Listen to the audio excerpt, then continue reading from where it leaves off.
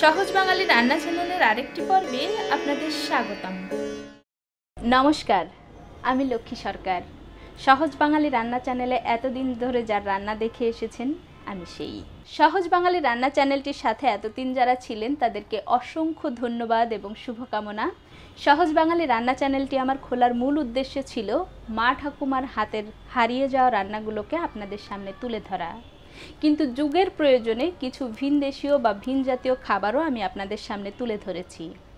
এতদিন ধরে বিভিন্ন ব্যক্তিগত সমস্যার কারণে আমি আপনাদের সামনে নিয়মিত উপস্থিত হতে পারিনি, কিন্তু এখন থেকে চেষ্টা করব আপনাদের সামনে নিয়মিত উপস্থিত হওয়ার জন্য।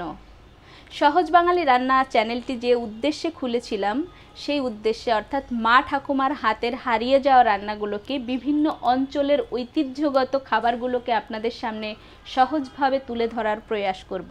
সেই সাথে যুগের প্রয়োজনে কিছু স্বাস্থ্যসম্মত খাবার অর্থাৎ ডায়েট ফুড নিয়েও আমি হাজির হব। এছাড়া আমি বিভিন্ন রকম ফুড ব্লগিং বা ফুড রিভিউ এখন থেকে এই চ্যানেলেই করব।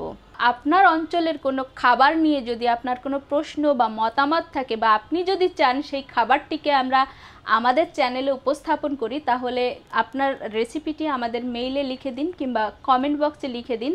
আমরা চেষ্টা করব আপনার রেসিপিটি উপস্থাপন করার জন্য। কিংবা আপনার যদি কোনো প্রশ্ন বা মতামত থাকে, তাহলে আমাদের কমেন্ট বক্সে লিখুন। আমরা চেষ্টা করব আপনাদের কমেন্ট এবং প্রশ্নগুলো নিয়ে প্রতি সপ্তাহে একটি কিংবা প্রতি মাসে দুইটি করে প্রশ্নোত্তরের পর্ব রাখতে। আজকে আমি খুবই ঝটপট এবং হেলদি একটি ব্রেকফাস্ট তৈরি করব। এই ভিডিও ডেসক্রিপশন বক্সে লিঙ্কটা দিয়ে রাখব, চাইলে দেখে নিতে পারবেন।